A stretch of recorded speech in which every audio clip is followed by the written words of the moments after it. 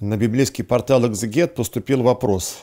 От непереносимых скорбей слабеет и гаснет вера. Как быть? А, про скорби говорится в Писании достаточно много.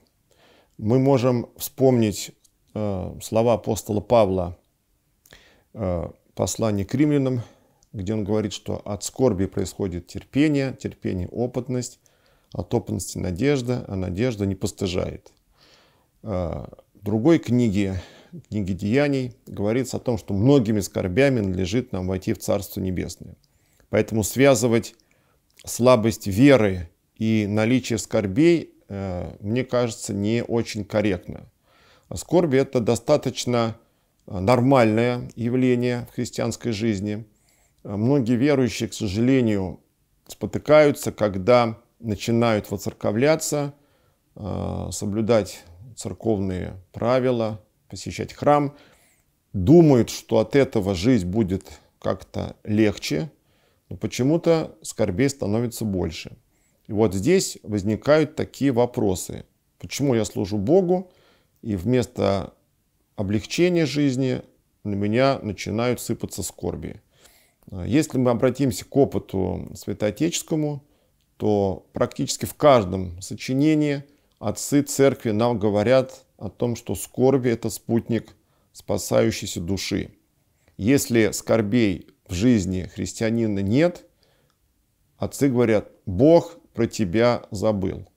Поэтому я желаю э, никогда не унывать, не опускать рук и не делать э, такой прямой связи между э, слабой верой и скорбями нашей жизни.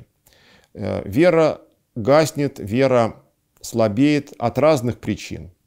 Э, если в жизни человека есть скорби, и он начинает унывать, роптать, а, перестает э, трудиться для Бога, то действительно вера может слабеть. Но виноваты не скорби, виноваты наше к ним отношение. А, скорби попускается душе, которая хочет возрастать, которая хочет совершенствоваться, которая хочет э, достигать новых э, духовных состояний. Скорби являются средством защиты человека от гордости. Это самый страшный духовный соблазн, самое страшное духовное искушение. Поэтому, когда у человека в жизни скорби, в виде болезней, в виде одиночества, каких-то разочарований, то э, в этом состоянии лучше всего обратиться к Богу. Как бы ты понимаешь, ну все, вот от тебя многие отвернулись, ты потерял то, на что надеялся. А вот Господь э, через эту скорбь, Он стал к тебе ближе. Поэтому мне бы хотелось, чтобы Э, каждый из нас, э, встречая скорбь, не думал, что это наказание.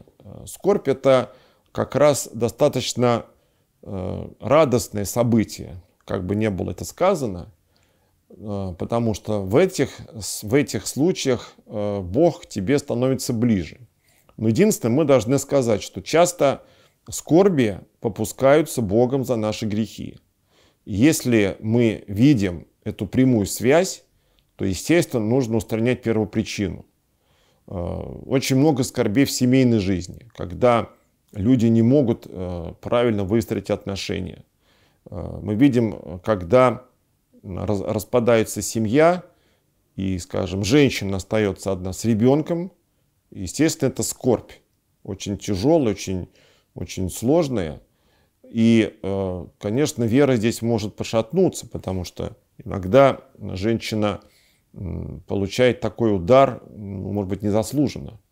Но как бы то ни было, надо всегда э, жить так вот рассудительно, думать и помнить, что за все э, совершенные дела мы будем отвечать, что все наши поступки – это посев, это те зерна, которые обязательно прорастут.